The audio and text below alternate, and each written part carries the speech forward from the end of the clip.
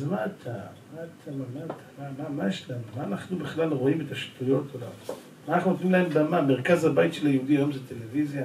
במקום שמרכז הבית שלך זה יהיה ארון ספרי תורה, זה ארון ספרי קודש. אני אומר לכם, אני תמיד אומר את זה, אני מתבייש, אני לפעמים בא לאנשים, הרב בוא תעשה לנו חגרת בית, בוא תשים לנו מזוזות.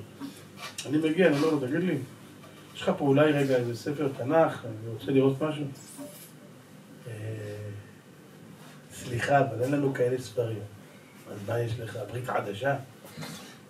הם מחזיקים ספרים, רבותיי, כל מיני אנציקלופדיות וכל מיני זה של כפירה באלוקים. ספר אחד, תהילים אין לו בבית. סידור אין לו בבית. שום ספר קודש, פשוט לא להאמין. מה, אתה יהודי? הוא נותן במה לכל שטויות של העולם, ספרים בר מינן. כן, אבל התורה שלך אין במה. איך זה ייתכן?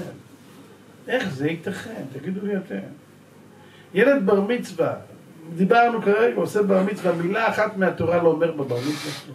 בדרשת בר מצווה מדברים קשקושים. בואי מה הולך כאן? מה אתם מתביישים בתורה שלכם? בשביל מה אתה עושה בר מצווה בכלל? בואו לא נעשה לא ברית, לא בר מצווה, לא יום כיפור. יאללה, נברח מהכל. או כן או לא. מה זה הזיג זיג זיג זוג הזה?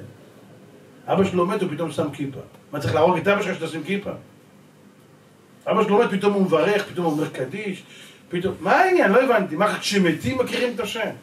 או שזה כן או שזה לא. בואו נהיה כמו ההודים, נשרוף את הגופות. ונגמר הסרט, אמרתי פעם, בשביל מה? מי שלא מאמין בהשארת הנפש ולא מאמין שיש עולם הבא, מה אתה צריך את בית קברות? לא חבל על כל השטח הזה, נבנה שם בניינים, נבנה איזה שטחים ענקיים לבתי קברות, בשביל מה? ניקח, שורפים את הגופה, יש קרמטורים, מכניסים בפנים, נשרף, לוקחים קצת אפר, שמים בבקבוק, אתה שם את זה במטבח, אבא. חול, אמא. סבא, סבתא. לא צריך לנסוע עד ירושלים לציון, אתה קם בבוקר, אמא, אבא, סבא, סבתא, בוקר טוב, פרה עליכם.